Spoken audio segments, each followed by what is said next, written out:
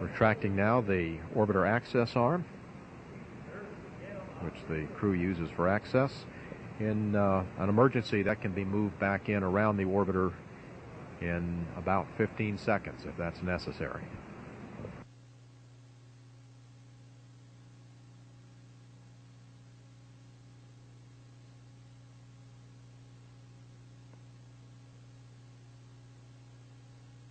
Next event will come at six minutes when the orbiter test conductor will give pilot Brian Duffy a go to perform the auxiliary power unit pre-start procedure. He'll set the switches in the cockpit to put the APUs in the ready to start configuration, which. This CRPF. Start to recorders by the clock. CRPF copy. The uh, APUs uh, start at uh, five minutes. That's the last critical point at which we can hold if we need to at T minus five minutes and be able to sit there for any duration of time.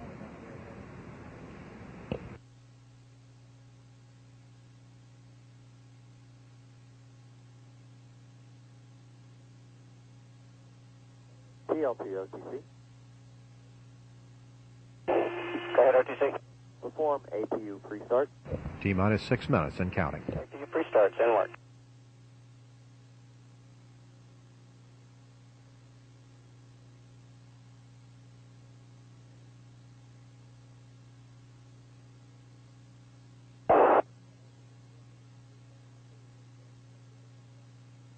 And OTC PLT pre-starts complete. We've got uh, two gray talkbacks and one barber pole as expected on number two.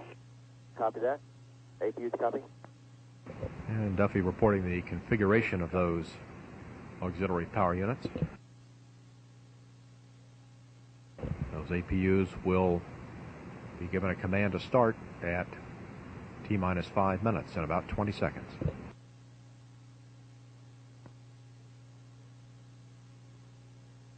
Orbiter flight recorders as reported are operating.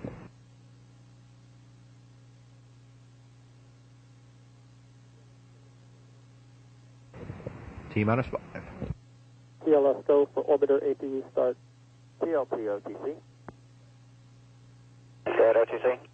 At this time, perform APU start. Roger, APU start in work. And pilot. Go ahead, OTC. Would you reconfigure heaters, please? That's in work. Charlie Bolden asking, being asked to reconfigure the orbiter heaters for launch. Brian, pilot Brian Duffy is flipping three switches in the cockpit to start each of the APUs, and he'll report when that uh, activation is complete. OTC PLT APU pre uh, start is complete. Three good ones, and the heaters are reconfigured. OTC copy. Hydrazine uh, now flowing from the tanks toward the APUs. Stand by for final range safety checks.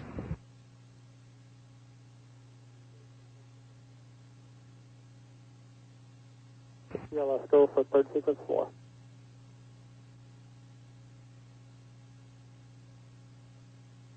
Final check now of the orbiter's flight control elements.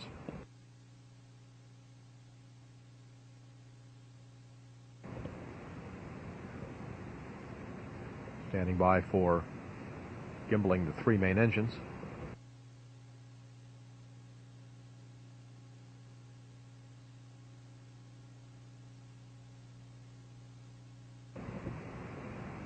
Rudder elevons and speed brakes all have moved through a program test pattern and they are verified ready to go.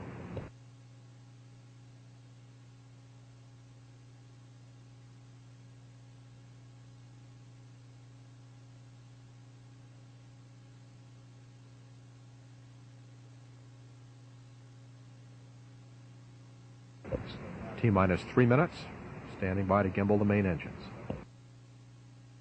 The main engines are now in the start position. For ET LO2 pressurization. Starting now to pressurize the liquid oxygen tank on the external tank. Atlantis now on internal power. Atlantis being powered by its onboard fuel cells.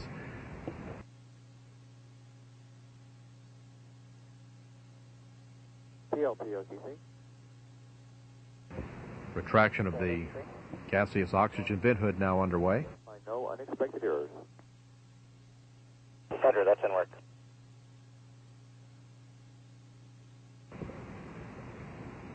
Pilot Brian Duffy reports that the action to clear the caution and warning memory system is now in work. He'll be reporting back. The caution and warning's clear, no new messages. That action reporting complete. No surprises there. Close and lock your visors. And Yeah, ahead, OTC. Flow. Good luck and Godspeed, Atlantis. All CLS right, go thank for you guys very much. We're uh,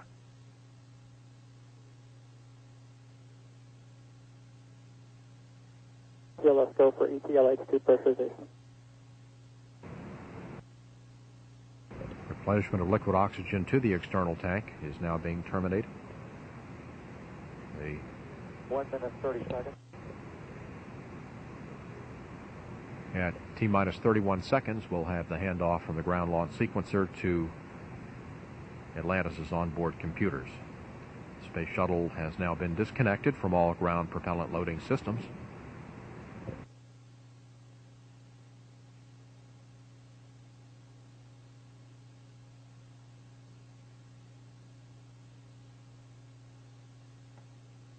One minute.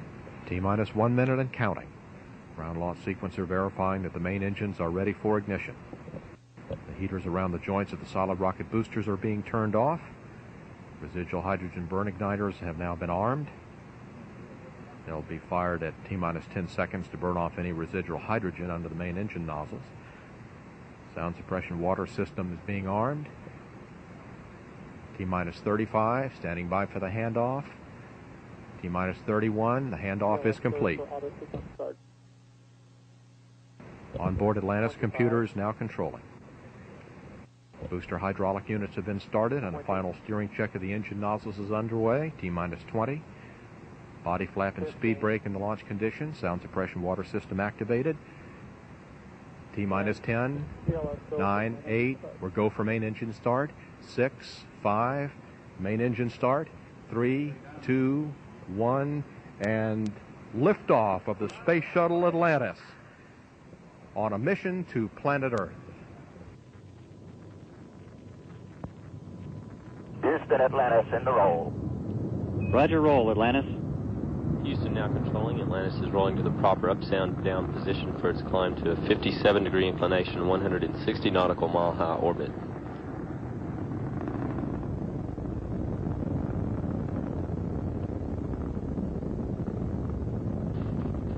Three engines now throttling down as Atlantis prepares to pass through the air of maximum aerodynamic pressure.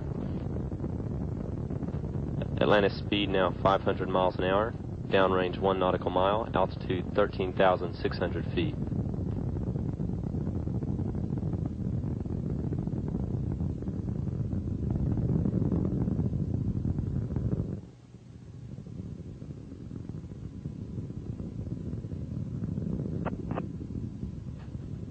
One minute since liftoff, altitude now 33,000 feet, downrange 3 nautical miles, Atlantis now traveling 1,023 miles an hour. Atlantis, Houston, go at throttle up. Roger, John, go ahead, throttle up. Three engines now throttled back up to 104% of rated capacity and operating well. Good hydraulic systems, good electrical systems. Altitude 68,000 feet, downrange 8 nautical miles. Atlantis now traveling 1,705 miles an hour.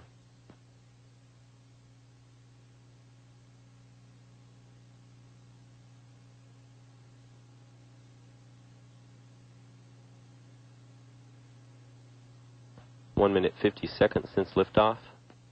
Atlantis now traveling 2,386 miles an hour. Flight controllers standing by for burnout and separation of the solid rocket motors.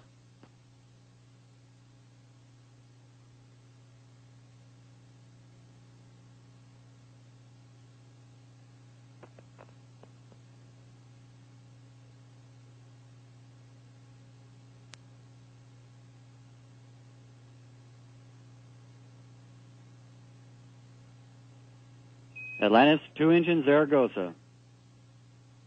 Copy, John, two engines Zaragoza, good SRB SEP, good stable TMECOs. And Atlantis, we copy. Performance nominal. Copy, nominal performance.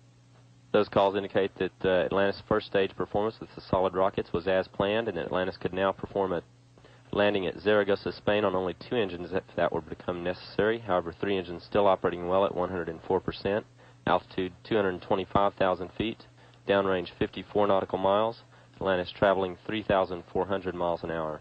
Time since liftoff, three minutes.